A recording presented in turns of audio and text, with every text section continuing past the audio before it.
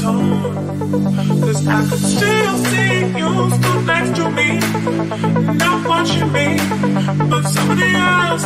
Oh, and I could still feel you caressing me, undressing me, wanting somebody else.